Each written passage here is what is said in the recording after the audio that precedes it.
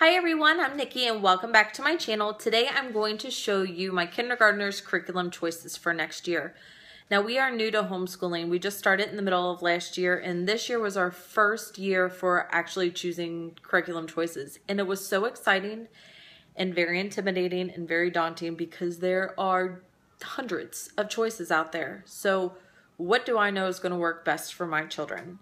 What helped me was going to a convention and flipping through all of just you mean anything and everything you could think of to find what I thought would work best for my my children.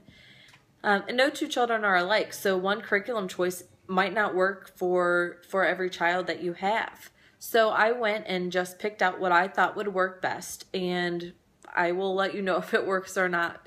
Um, we are using a lot of multisensory um, and unit study, Montessori based, play based type learning next year because in, for me, it was important for my kids to be kids this year and to play and to learn through experience and experiencing the world around them and, you know, just getting in and using all of their senses. So, we're going to be doing a lot of that next year.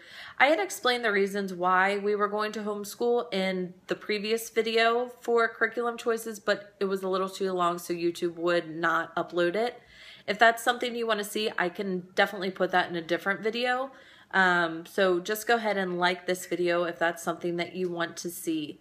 Um, and I also am going to be putting up a room tour here shortly. So go ahead and subscribe. And if if that's something that you want to see, I will get that up within the next couple weeks and explain how I will do unit studies and Montessori studies next year.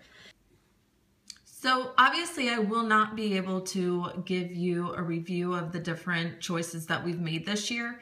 Um, later in the year, I'll, I'll be able to come back and tell you what we think of each of the books. But um, let me just show you what we've chosen for next year. First is the Right Start Mathematics. We are going to be focusing on math, reading, and phonics this year. Um, that's our, our core focus. So we, the Right Start, I'm really, really, really, really excited about. And it uses this abacus um, to visualize numbers rather than counting. So they can you know, with the blue and the yellow, they can look and say, okay, that's five, and then six, seven, rather than counting one, two, three. Um, so this is um, very multi-sensory. It uses a lot of games, um, a lot of manipulatives, the abacus, a lot of interactions between um, me and my daughter, um, discussions, and so I'm really excited. And they also, which I believe will be more difficult for me than it will be my daughter, when like instead of saying 36, they would say 3, 10, 6. Then that just helps with place value. So it's extremely intelligent on their end and maybe a little bit difficult on, you know, to to get used to. But we're going to give it a shot. It is all laid out. So you have, let's see if we can focus here. Um, it tells you exactly what to say and um, completely script it. So that's nice. But yeah, if you would like, I can show you the box of stuff that I got from Right Start. Just tons and tons of stuff. And it also comes, you can get like a, a workbook. It's not heavily focused on handouts or worksheets. Um, but they do have some. And rather than get the book, I got the um, online program. That way I can use it with both my daughters rather than just one. So that's Right Start Math. Then we're going to be using Explode the Code. Uh, I just bought this a little bit ago and my daughter's already um, started some works in it and she really seems to enjoy it. The pictures aren't very colorful, but they're fun little little pictures and so it just I'll show you a page that she's done. We're still working on on the handwriting, but she has to sound out the CVC word and then write it on the line. And she did those for this and really enjoyed it. So we're going to be doing Explode the Code next year. And my preschooler will be doing the Before Explode the Code, um, so the beginning book. And then the reading, we're doing Teach Your Child to Read in 100 Easy Lessons. We started with Hooked on Phonics and she was bored with it. So we decided to do Teach Your Child to Read in 100 Easy Lessons. Um, and this book just uses unusual, um, let me see if I can find one, like unusual formation of letters to help them decode. So anything with a line over it would say E, say the name. Um, so that would be im. Um, so they start off just as basic as, find the starting page. just as as basic as learning individual letter sounds. And by the end of the book, they're reading paragraphs. So she enjoys it so far. She really seems to like the interactions that we have rather than the hooked on phonics where she felt like it was more just her. It overwhelmed her a little. This seems to be more up her up her alley. So we're going to do that. And then these are the next two books we're going to do. Um, we're going to start with creating curriculum using children's picture books. And then we're going to work um, with five in a row after that. Now what this does is gives you a list of books and then you work with one book for the entire week. Um, the first book is Bears. So it you read the book, it tells you you know what to discuss before, during, and after the story. And then it gives you a science, language arts, math, problem solving, fine motor, arts, gross motor, creative dramatics, um, different lessons to go over throughout the week. And then it also has like little pictures and, and um, so this is like what happened next. And you do a work with this. So very hands-on. And we're going to be doing that. And then next we're going to be doing the five in a row. And the um her husband and I can't remember her name, but I saw him speak at the convention and he was absolutely fabulous. Um I left his class going, "Wow, like so inspired and so motivated and I can do this." So I'm really start excited to to work with this and it has the same concept. It gives you a story to read um for 5 days and you do different lessons around that and it gives you like a science and a history and um, art, language arts, and it has different, if you can see, so there's social studies and there's a couple arts, but you can choose. So if you don't like one of the lessons that they have, you can use another one. So I'm really excited about that book. Um, so those books are going to be our main focus. And then these we're going to do more unit studies. We're doing Adventures in America.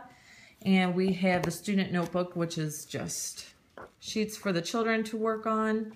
Um, and then the actual book. This is also very multisensory. Again, most of the books that I got are. And this book, see, these are some of the um, topics. Pocahontas, Christopher Columbus, Sacagawea, Oregon Trail, just all of things that we were going to hit on this year, um, but probably not as in-depth as this book goes. So we'll probably move this to first grade as well. Um, but it lays out day by day what you're supposed to do, what you're supposed to read, the different coloring activity, um, what you're supposed to do in your notebook. It gives you optional copy work and an activity and then it gives you a little paragraph to read. Um, so that should be good. The Bible that we're going to use is the Jesus Storybook Bible, and I really like this. We had another one that I wasn't fond of. It was very, um, every, thing we read, I left going, ooh, they did not make God sound great in, in that reading. And this is very positive and gives details that the kids can understand, but it keeps it in, in a positive light. So I'm really excited about this one and cute, cute little drawings. Um, so we're going to hit on that. We also do the children's, or I think it's the Kids Bible, uh, an app on our phone that we use that's interactive. So you might want to look that up. And then I had posted um, in my earlier video about the new free nutrition curriculum, this is just one portion of it. It's huge. I mean, we got so much stuff. And this just gives you different activities to go along with with nutrition. Um, so, and then they have these emergent readers. We have dairy and fruit here, but it comes with all the food groups, and they're just easy readers that have different sight words. So they've already kind of gotten into these and really like them. the next thing is the seven habits of happy kids. And um, this was so, you know, being able to homeschool allows me to be able to teach my kids morals and good habits and just being a good person. So I wanted to use this book. I've read great reviews on this book and look at the little illustrations are absolutely adorable. And I think we'll read this and then do little activities around it. Um, so I'll let you know how that goes. And then we have beginning geography, which quite honestly looks super boring to me. Uh, we'll probably do unit studies around these. I've read really good reviews on this book too, so maybe it's just that, you know, there's not a lot of color, which is fine because a lot of color doesn't make it a good book. Um, so we're going to give this a shot next year along with, um, we're going to be using the 50 States book and Geography from A to Z. So we'll use those together. And then we have critical thinking books. And critical thinking and solving problem are so important to me. Um, and just in general, because they teach you those problem solving skills. They teach you independence and, uh, you know, just enhancing performance and thinking outside the box in general. So we got Mindbenders, which she started and she loves. Um, you just have to match, you know, read this and then figure out which goes with which. So she's done some of those, um, math analogies, and Dr. DooRiddles. And then our handwriting, which comment down below if you use a handwriting program. To me, it seems tedious and for me, I would rather focus on um, writing that serves a purpose rather than just writing to write. But, you know, we're going to give it a go and, and see. But let me know your ideas on that. Is it something that she's going to be bored with? Or do you find use with this? So there's that. Then we're going to do Song School Latin. Um, we are going to use this book. I think we're going to focus on Spanish this year just because my daughter's so into it right now. Um, and it comes with a CD and you basically just, they give you words and different songs to learn the words. So that will be something that we may or may not focus on next year. And then all about spelling. We will finish or get into our reading more before we start all about spelling, but I did go ahead and buy it just in case we started it earlier than I expected. Um, very multi-sensory as well. Step-by-step -step lesson plans. So um, I only got the books. I did not get everything else to go with it because I feel like we have a lot of the stuff at home that we can use rather than buying it. It might be something that you want to look into and buy and we might end up purchasing, but for now we just got the books. Um, and then just in case, you know, we're out and can't do all of that, we did get the Abeka letters and sounds and number skills. They are inexpensive and bright and colorful and my daughter loves doing them. We're working on these this summer. So if we are in a rush, we will focus on, on these this year. And also um, a couple online programs that are free. Progressive Phonics is a great free program. Um, and Mr. Q Science, Mr. Q, just the letter Q, he has um, a couple free science programs that are excellent that we'll be using. Um, but I think that's it. If you have any questions, let me know and I'm happy to go into further detail, but I wanted to make this short so that YouTube would let me upload it. Um, I will talk to you in a future video and good luck with your planning.